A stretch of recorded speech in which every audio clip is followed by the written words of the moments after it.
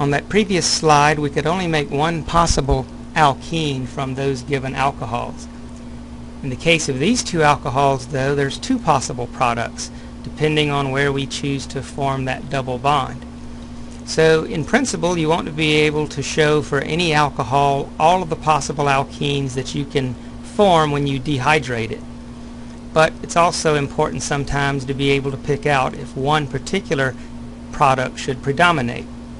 And although we can't predict these exact percentages, we can use this rule at the top of the slide to predict which of the products should outweigh the other.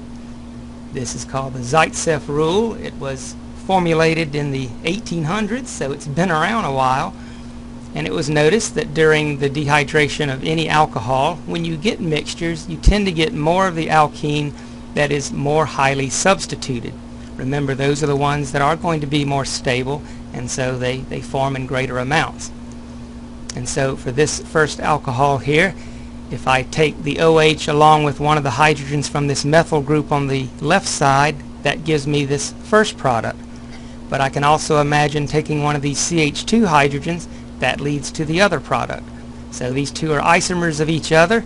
They certainly have a lot in common, but one way in which they are different is that 2-methyl-2-butene is more stable. If I look around this carbon-carbon double bond, I see there's one, two methyl groups on this side, and then there's also a methyl group on the other end that's attached to that carbon. So we say this one is tri-substituted compared to plain old ethene with nothing but four hydrogens on the other end of those bonds. Uh, this is, again, tri-substituted. The 2-methyl-1-butene here, we don't get much of that because it is less stable. And it is less stable because it is only di-substituted. We have two alkyl groups on this end, but these two hydrogens um, make it be considered as unsubstituted on that end. To put it another way, we get predominantly the product with the double bond in the middle of that chain of carbons as opposed to the product where it's on the end. Down below, this is a reaction we're going to do ourselves in lab, and so we'll see what percentages we get. But if I have this methyl group adjacent to this OH group, then I can imagine we either end up making a product with the double bond next to that methyl group, or since there are available hydrogens at the bottom of this ring, I can also get uh, this second product. And so they are drawn just to show the difference in location of that double bond. And so just like the example above, we've got a tri-substituted alkene, which is this first product, as opposed to a di-substituted alkene. So whether it's chains or rings, we really just pay attention to, again, where that double bond is and, and how many alkyl groups are directly attached to where that double bond is.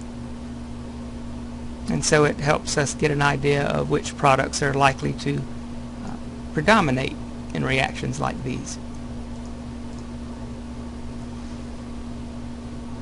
Well, we find that there's two mechanisms for forming alkenes, just like we have two for the substitutions. Now we use a E for elimination as opposed to S for substitution. But this looks much like the SN1 reaction we saw in the previous chapter. In fact, the first couple of steps are identical. We talked about tertiary butyl alcohol reacting with HCl, and in that case, the chlorine replaced the OH. But with a change of acid to sulfuric, we no longer get substitution. We do, however, form ourselves a carbocation, first by transferring a hydrogen from the acid to the alcohol. And they don't show the sulfuric acid here, but this hydronium ion would form if you have sulfuric acid present. And once we transfer that hydrogen, then in step two, we lose a molecule of water because water is a great leaving group, and that leaves us behind a tertiary carbocation. So just like SN1 was a good explanation for tertiary and secondary alcohols undergoing substitution, the same rule is applied for when they undergo elimination. E1 is the, is the mechanism for, for alcohols that are secondary or tertiary.